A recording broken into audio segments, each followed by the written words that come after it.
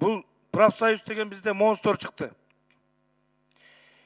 Ушу кабинеттен кабинетти кыдырып биз мыйзам жазып атсак ар кайсы депутаттын кабинетине кирип атат анан момундай чакырыктар болуп атат доброе утро скоро опять этих баранов будем выбирать дейт ачык эле телефону менен жазып атышат курманбек мырза биз эмне ушунчалык эле мындай ушунчалык кордукка чыдайсыңарбы жазып атат ачык эле доброе утро всем надо ославить всех тех кто пропихивает новый закон о профсоюзах и добиться чтобы этих бы не было в партийных списках в 2020 году. Во всяком случае, в началах этих списков, уверен, это у нас получится, и мы победим деп атат.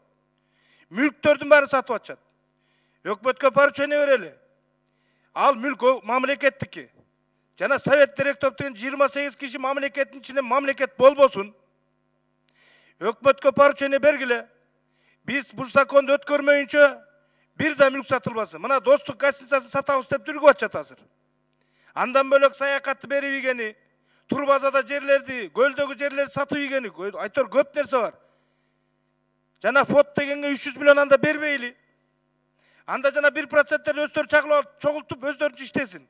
Мамлекет милдеттүү түрдө 1% чогултуп берип атат. Бир эле образованияда канча миллион деген акча түшүп атат. Каалагандай айлык коюшса, каалагандай мүлктү сатышса, көлөчүн кие албай калга чейин тоқсаннан ашқыча жұмыста болушса бұлар құдайдың еркесіби эмне деген мүлктөр бар. Биз ошого көңүл бурушубуз керек. Келип алып ар кайсына айтып тааныш билиштерин салып депутаттарды келип алып мына ачык номерлар менен жазып атат. Мен азыр берип коеюн мирлан исакович чара колдоңула?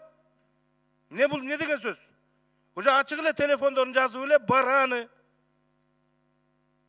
мен бир жолу чимкириктер деп сөзгө айтып тур элита деп койсом эмне деген тиги асылы болды а айтам берде кимдер отурат бири бирибизди карап колдоп моундайларга бөгөт коюш керек мирлан исакбаевич мен азыр берип коеюн мына телефондор менен ачык жазып аткандарды анан айтып коеюн профсоюздун законун колдоп өткөзбөсөк биз коомчулукка шылдың болобуз